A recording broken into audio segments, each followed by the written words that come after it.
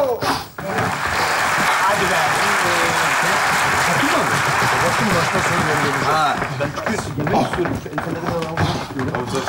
Ver o ayağı da ver. Onu yarı vereyim mi kanka? Yarım ver tamam. Tamam hadi oturun. Hadi oturun. Favorileri de alalım. Maç bitsin, dükkanı açınca gidelim. Tamam. Evet. Çocuklarım.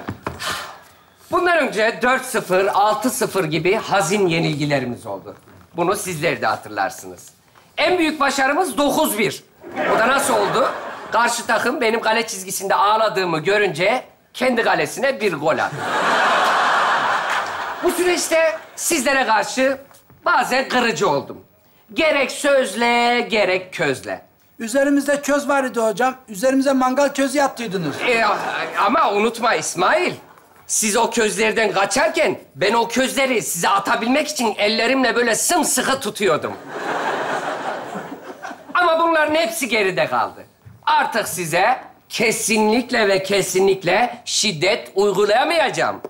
Neden? Çünkü bizi çok sevdiğinizi anladınız. Keşke öyle olsa ama hayır. Hayır Mustafa. Çünkü beni Çalışma Bakanlığı'na şikayet ettiniz. Ve bu narin hanımefendi gölge gibi peşimde. Ne yapsam not alıyor gördüğünüz üzere. Size herhangi bir sözlü veya fiziksel şiddette bulunursam lisansım elimden alınacak. Anında alırız. Evet alırlar bana da söyle. Hatta biz telefonda konuşmuştuk sizinle. Sen misin o? Evet. Sen mi söyledin? Sen ne? Sen söyledin ha. Seni asla unutmayacağım Ozan. İki gözüm hep üzerinde olacak Ozan. Tamam mı Ozan? Evet. Leman Hanım, bunlar her takımda olan şeylerdir. Yani olur. Arada böyle ufak gerginlikler falan olur. Evet, benim parolam sevgi. Her zaman gösterememiş olabilirim ama kesinlikle benim parolam sevgidir efendim. Yani nasıl söyleyeyim size? Ee, coşku olabilir. Coşkulu bir insanım.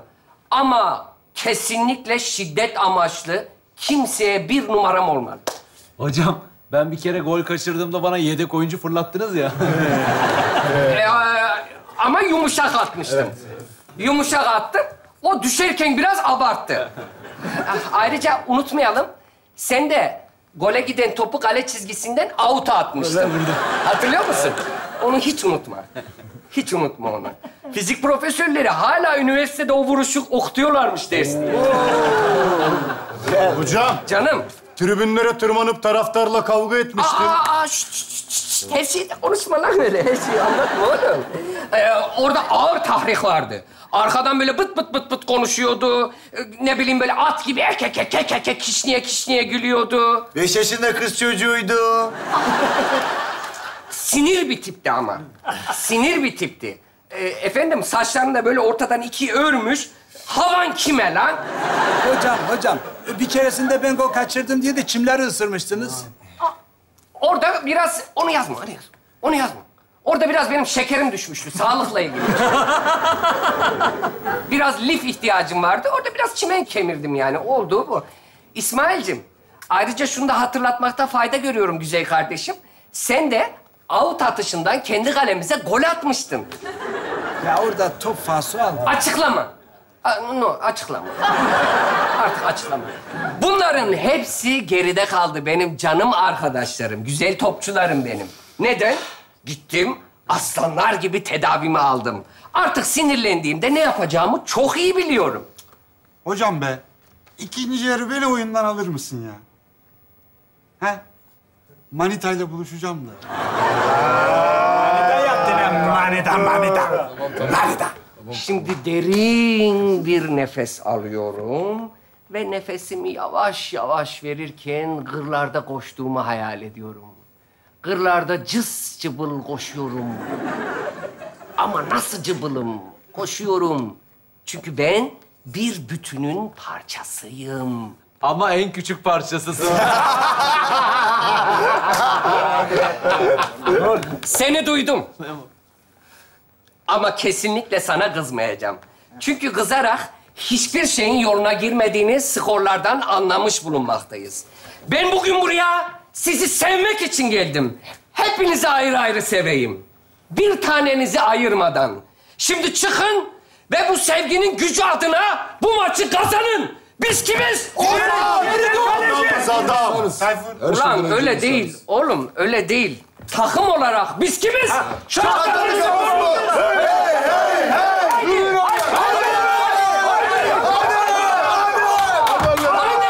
Sevgili gücünü gösterin. Edelim bu işi. Bu sefer olacak Leman Hanım. Bu sefer olacak. Evet ilk yarı sona erdi ve takımlar ve teknik heyetler soyunma odasına gidiyorlar. İlk yarının skoru çatladı Kapı Spor 0, Kutuvar Spor 7. Hep bana at ileri. Hep bana at. Çok ayıp ya. İyi oldu be. Başka yarı var mı? Bu kadar bit- bitti mi? Var mı başka? Var var bir tane daha var. Ter attık ama iyi oldu. Ne oldu Bilal Bey? Sinirli misiniz? Hayır, kesinlikle. Bence harika bir maçtı. aferin lan size. Size aferin. Sana da aferin. Sağ ol. Sana da aferin oğlum. Sana da aferin oğlum. Sana da aferin. Şu ikili. Size de aferin. Aferin lan size. Aferin lan size. Sana da aferin ulan. Aferin. Ama sen... Sana ayrı bir aferin lan. Aferin oğlum. Aferin lan. Sen gecenin yıldızıydın. Aslanım benim. Yetme hocam ya. Yedi tane gol yedim ya. Ah! Arkadaşlar saymayı biliyor. Harika. Ha o son golü nasıl yedim ya? Aa İsmail. O golü diğerlerinden ayırmana müsaade edin. Diğer altısı için de aynı soruyu sorabiliriz oğlum. Misal o beşinci gol. O beşinci golde sen ne yapıyordun? Böyle telefonuna bakıyordun, bir şey yapıyordun. Ne yapıyordun oğlum? Dayım aradı. E, Maçın ikinci yarısına geç kalmış da ne diyeyim? Tabii ki. Bizim örfümüze, adetimize ters böyle bir şey. Tabii ki açacaksın telefonunu, bakacaksın. Hatta geldiklerinde galeye davet et. Bir çay ısmarla. Çünkü gale gale değil, Söğüt gölgesi. Silifke Kalesi aile çay bahçesi orası. Öyle değil mi? Bilal Bey, sinirlendiniz mi? Hayır efendim. Sevginin gücünü gösteriyorum burada. Şu an gırlardayım. Her yanım ama her yanımdan hava giriyor. Neden? Çünkü her yanım açık. Her yerden esinti giriyor bana. Her yerden. Böyle efil efil esiyor. Ben bir bütünün parçasıyım Tayfur. Buyurun hocam. Tayfur. Gelelim sana Tayfur. Evet, gelelim. Tayfur. Sen hiç terlememişsin oğlum. E, hocam söyledim ya Manita'yla buluşacağım diye. Ter mi kokayım? Kokma, kokma, kokma oğlum. Kokma, aslan oğlum benim, kokma. Kokma yakışıklım. Kokma oğlum. Şu ağzını bir düzelt ne olursun. Hocam. Kudret. Ha, bana sevgi gösterisi yok mu hocam? Olmaz mı Kudret? Kudret olmaz mı? En çok seni seveceğim. En çok seni seveceğim Kudret. Dikkat et boynun kırılmasın oğlum. En çok seni seveceğim Kudret'im. Kudret. Sana bir şey soracağım. Bir abi gibi gör beni ve samimiyetle cevap ver. Maçın ortasında. Niye ayakkabılarını çıkardın oğlum? Hocam. Bende elektrik var. Ayakkabıları çıkarıp toprağa basmak elektrik vermek amaçlı yani. Ben sana şimdi elektrik verirdim de işte veremiyorum. Eski Bilal olsa hatırlıyorsun değil mi? ne yapardı sana? Abone yapardı. Abone vururdu. Ama eski Bilal olmadığı için kimse bundan sonra abone, abone vurmayacak. Hocam, örnek gösteriyorum. Ayağına çocuğa yüz felce geçirttiniz. Öyle mi oldu ya? Öyle mi oldu? Sizce öyle mi oldu? Çok özür dilerim. Kudret, çok özür dilerim oğlum. Sana örnek diye amele vurduğum için çok özür dilerim. Çünkü sana amele vurmak insan işi değil be Kudret. Hocam ben bir şeyi çok e, düşünüyorum fakat bulamıyorum hocam.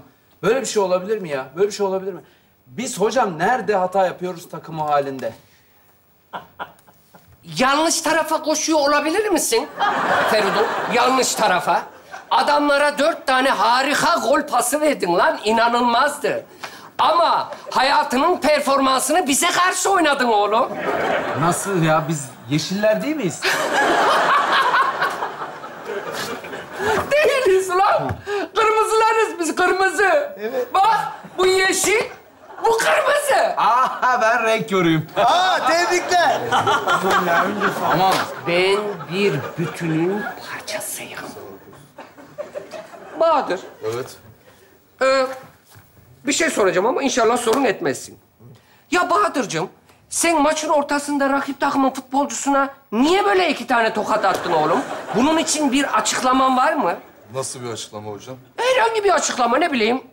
İşte küçükken babamlar bana balık yedirmedi. Omega üçüm zayıf.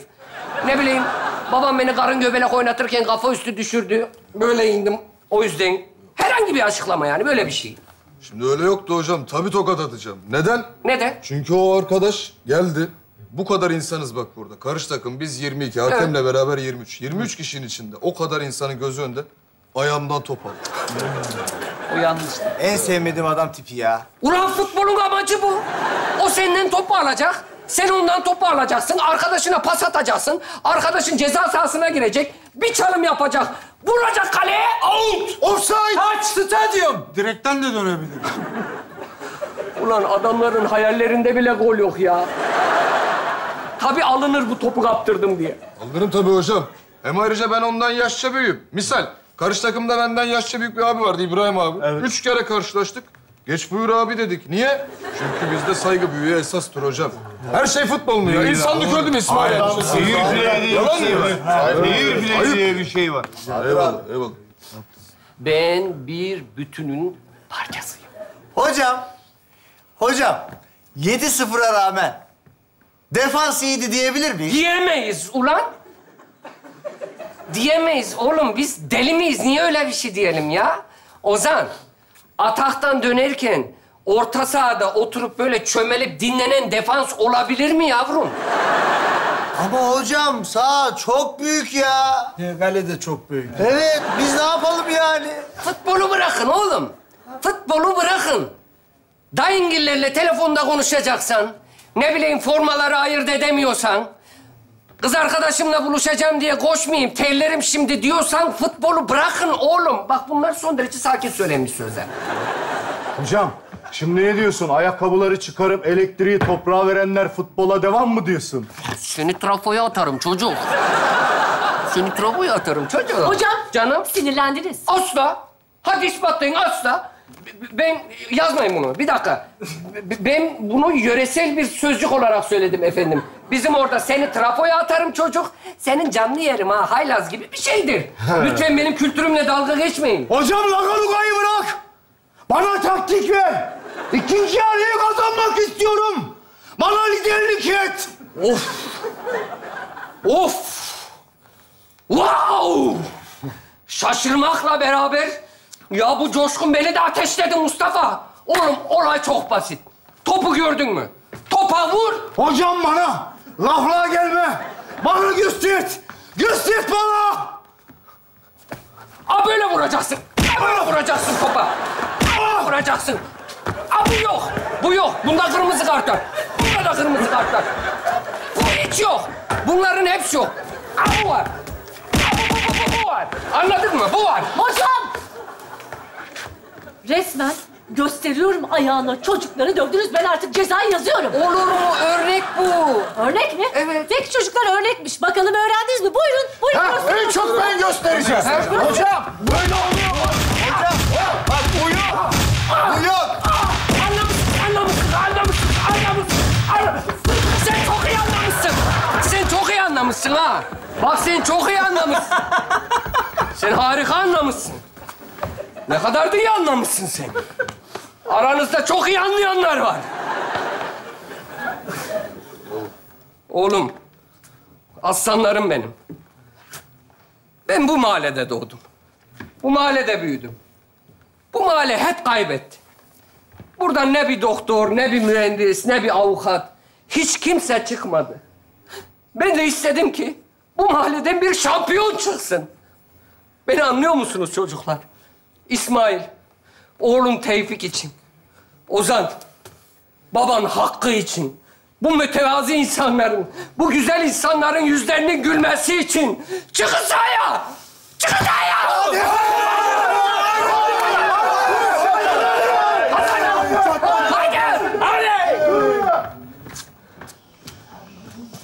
Bu konuşma benim son gozumdu. Yıllardır buna hazırlanıyorum Leman Hanım. Bu sefer kesin olacak. Göreceksiniz. Buyurun önden. Buyurun önden.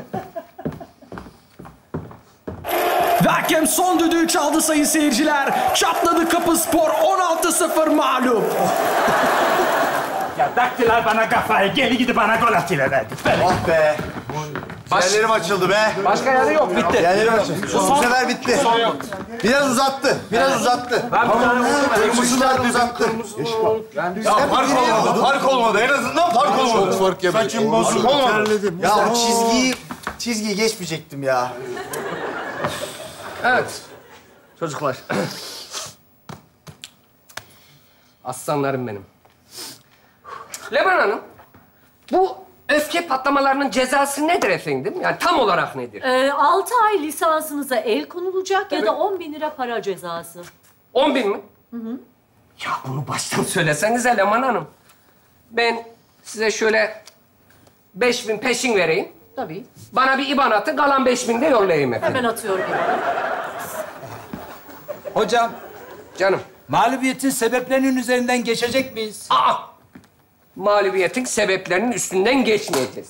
Çünkü ben sizin üstünüzden geçeceğim.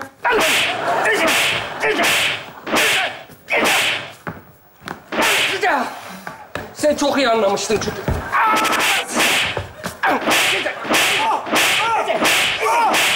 Size... Kalk lan. Kalk lan. Kalk. Beni takip etsen bir de dışarıda döveceğim. Gel beni. Dünyayı anlamak belki zor bir mesele Ama hayat geçiyor şöyle böyle Her şeyden uzaklaşıp gülmekse mesele Katılarımıza ve de sen de